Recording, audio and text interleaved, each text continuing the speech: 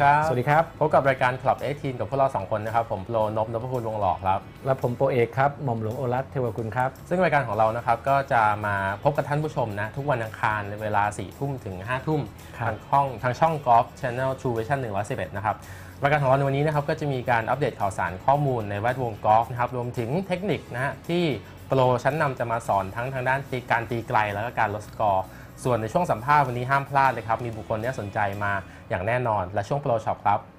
ครับพี่เอกครับ ก็วันนี้เนี่ยก็เป็นอีกสัปดาห์หนึ่งที่น้องสต็อกก็ยังติดภารกิจครับอยู่ที่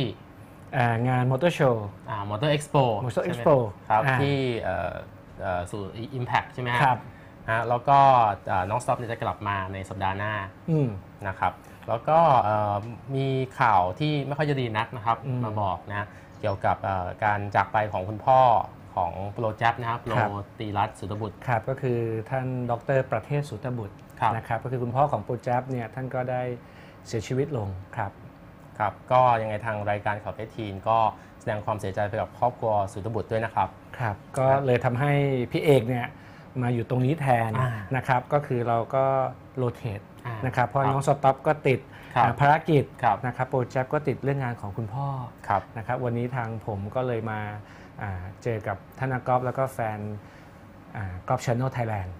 ครับแต่ว่ารายการของเรานะครับก็ยังอัดแน่นไปด้วยสาระเหมือนเดิมนะครับ งั้นไปพบกับช่วงแรกกับช่วงขับเฮาเลยครับ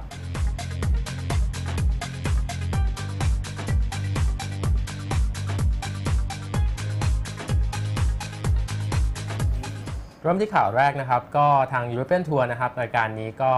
มีแข่งเหมือนกันนะครับ เป็นรายการสุดท้ายของ Race to Dubai นะครับ มีชื่อว่ารายการว่า Dubai World Championship ครับนะครับแข่งกันที่เมืองดูไบประเทศสาธารณรัฐเนี่ยอาหรับเอมิเรตส์ครับนะครับซึ่งรายการนี้เนยนะก็เรียกได้ว่าเป็นการลุ้นแชมป์นะ ไม่เพียงแต่แชมป์ของรายการดูไบเวิลด์แชมเปี้ยนชิพนะแต่ว่ารวมไปถึงว่าใครจะได้แชมป์ของเรสดูไบที่เขาแข่งกันมาทั้งปีเลยอืมนะครับซึ่งรายการนี้เนี่ยก็มีใครบ้างครับผู้เอกที่มีสิทธิ์ลุ้น แชมป์ทั้งสองแชมป์นี้ ก็มีแน่นอน Luke Donald ครับนะครับ Rory McIlroy ครับนะครับแล้วก็อันนี้คือ 2 คนเด่นๆ ที่ก็มีโอกาสที่ได้ลุ้นแชมป์จากสัปดาห์ที่แล้วที่เราที่เราพูดกันนะครับว่า Rory McIlroy เนี่ยถ้าเกิดว่าได้แชมป์รายการนี้ขึ้นมาเนี่ยเขาครับเขาจะสามารถแซง Luke Donald ขึ้นใน Race to Dubai แล้วก็สามารถคว้าอันดับหนึ่งในออเดอร์ of merit ของ European Tour ได้อื้อหือนะซึ่งรายการนี้นะครับถ้าลุคโดนัลเนี่ยต้องการจะคว้าอันดับหนึ่งในเรสดูไบเนี่ย เขาจะต้องจบที่อันดับ 9 ร่วมหรือว่าดีกว่าอืมอ่าหรือไม่ไม่อย่างนั้นเนี่ยก็ต้องลุ้นไม่ให้ลอรี่แมคกินรอยเนี่ยคว้าแชมป์ครับ อ่าซึ่งผลปรากฏว่าสัปดาห์เนี้ลอรี่แมคกินไวก็เล่นได้ไม่ค่อยดีเนื่องจากอาการอาการบาดป่วยคือไม่ค่อยไม่ค่อยสบายอาหารไม่ค่อยสบายครับนะครับ ก็ทำให้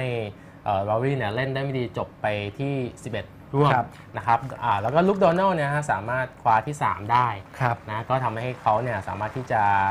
เป็นมืออันดับหนึ่งในเวสต์ดูไบได้นะครับใช่เรียกได้ว่าเป็นประวัติศาสตร์เลยทีเดียว ใช่ เพราะว่าประวัติศาสตร์ที่โปรนบหมายถึงก็คือว่านอกเหนือจากเวสต์ทูไบเนี่ยครองแชมป์แล้วครับนะครับก็ยังครองมือหนึ่งของโลกด้วยอ่าใช่ ซึ่งเป็นผู้เล่นคนแรกครับในประวัติศาสตร์ของกอล์ฟเลยที่ได้มือหนึ่งของโลก ครับแล้วก็ไปได้ Order of Merit ที่ European Tour ครับ ก็คือ West Dubai ด้วยแล้วก็ USPGA Tour ครับภายในปีเดียวกันครับ นะครับ ก็เรียกว่าได้ว่า 3ตำแหน่ง 3 มือหนึ่งเลยทีเดียวใช่ นะครับ แล้วแชมป์ตกเป็นของใครครับปนพซึ่งแชมป์รายการนี้นะครับก็ตกเป็นของ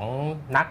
กอล์ฟตีไกลคนหนึ่งอัลวาโรคิรอสนั่นเอง ใช่ ซึ่งคือรอสเนี่ยในสถิติของ European Tour เนี่ยก็เป็นผู้เล่นจากสเปนอืม ที่ตีไกลที่สุดใน European Tour อืม เพราะฉะนั้น stat ของเขาที่ประสบความสำเร็จอันนี้ก็คือว่าถ้า Quiros เนี่ย drive ไปอยู่แฟร์เวย์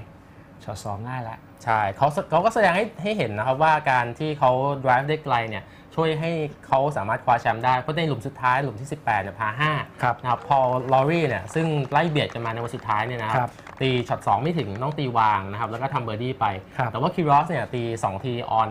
on เลย โอ้โหเออแล้ว on ไม่พอฮะสามารถพัดอีเกิล Eagle จากระยะ40ฟุตลงไม่ได้อีก ใช่ แล้วเวลาแกขึ้นช็อตสอง ถ้าอืมโปรนบได้ดูหรือถ้านักกอล์ฟได้ดูนะครับครัไม่ค่อยตีหัวไม้นะครับอ่าช็อตสองออกด้วยเหล็กอีก ใช่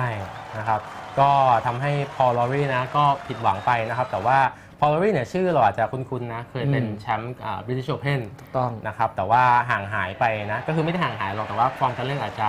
ยังไม่เข้าฝักเท่าไหร่ ครับ แล้วก็มาปีนี้เนี่ยที่เขาเพิ่งจะคืนฟอร์มกลับมาเล่นได้นะครับ แล้วก็รายการนี้ก็สามารถคว้าที่ 2 ไปก็ถือว่า ใช้ได้นะ ใช้ได้เลยละอืมค่อนข้างจะกลับมา คือกอล์ฟเนี่ย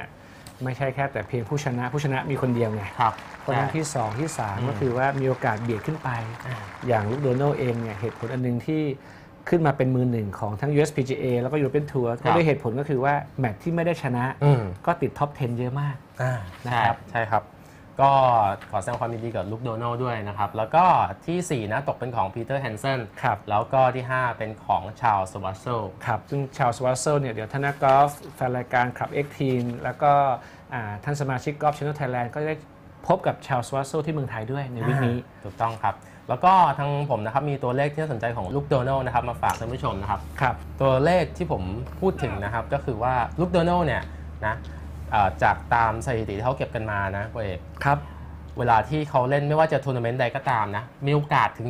77%ที่เขาจะจบใน top 10 หรือจบใน 1 ใน 10 โอ้โหอืมไม่ธรรมดานะ ครับ 77% top 10 นี่ก็ก็คือมีแค่ 10 คนในทัวร์นาเมนต์นั้นน่ะอืมที่ top 10 น่ะใช่เพราะฉะนั้น stat ตรงนั้นอ่าพี่เชื่อว่าก็คือมาจากการที่ Luke Donald เนี่ยเป็นคนที่ตีค่อนข้างแม่นยำมาก ใช่ครับ wedge คือร้อยหลาเนี่ยแม่นแม่นที่สุดนะครับผม125หลาก็แม่นครับครับทำให้ความสม่ำเสมอในการเล่นของแต่ละทัวร์นาเมนต์เนี่ยมีความสม่ำเสมอมากๆถูกต้องนะครับแล้วก็ตัวเลขต่อไปนะฮะคือ 449 นะครับเขาบอกกันว่า Luke Donald เนี่ยเล่น 449 หลุมติดกัน ครับ โดยที่ไม่มี 3 putt เลย นั่นอืมก็พอ 10 คือโทษร้อยหลาครับ approach เข้าไปครับ125 หลา approach เข้าไปอืม150 หลา approach เข้าไปครับ แล้วไม่มี 3 putt ครับ ก็มีแต่เบอร์ดี้กับ par อ่าถูกต้อง ใช่ไหมครับ แล้ว stat ใน USPGA ก็คือว่าประมาณ90%ครับของนักกอล์ฟในทัวร์นาเมนต์ที่ทำการแข่งขันเนี่ยครับ ไม่มี 3 putt อืมเพราะฉะนั้นบางทีถ้านักกอล์ฟอาจจะเห็นว่าเออบางทีเราพยายามทำหนึ่ง putt ให้ได้เยอะ ครับ แต่อันแรกที่เราสามารถพัฒนาเกมการเล่นของเราได้ก่อนก็คือว่า ครับ การลดการทำสาม putt ก่อน อืมถูกต้องนะครับให้เหลือแค่ 1 กับ 2 putt ครับ แล้วนั่นก็เป็นตัวเลขเล็กๆน้อยๆนะที่ผมนำมาฝากกันนะครับ มาถึงข่าวต่อไปนะครับ ก็มีการแข่งขันกันนะฮะที่ประเทศสหรัฐอเมริกาเหมือนกันนะครับ ครับ รายการนี้เนี่ยเป็นรายการพิเศษนะที่จัดขึ้น อืมโดยที่มี format การเล่นที่เรียกว่า scramble ว้าว อ่า scramble เป็นไงครับเพื่อนเอก scramble ก็คือว่าตีกันคนละช็อตเลือกลูกที่ดีที่สุด ครับ เพราะฉะนั้นสกอร์โดยส่วนใหญ่ที่มันจะออกมาเนี่ย ก็จะ ครับเป็นไม่ par ก็เบอร์ดี้ อ่า ก็คือเขาเรียกว่า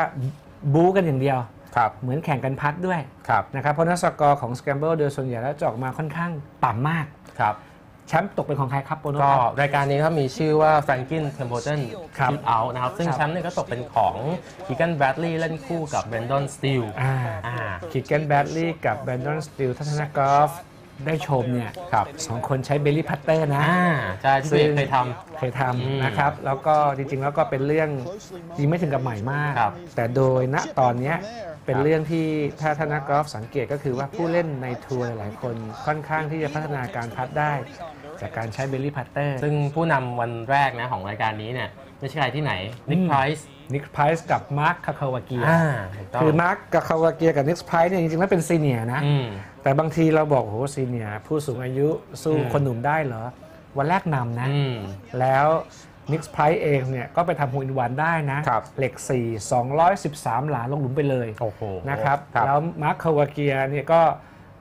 ก็พูดถึงเป็น senior แต่ก็ยังฟิตปั๋งนะอืมนะครับเพราะฉะนั้นจริงๆแล้วผู้เล่นทั้งสองท่านเนี่ยดูแล้วครับเป็น senior แต่จริงๆแล้วเขาเรียกว่านักกอล์ฟประสบการณ์สูงดีกว่าใช่นะครับก็สู้กับหนุ่มๆได้แหละอ่าก็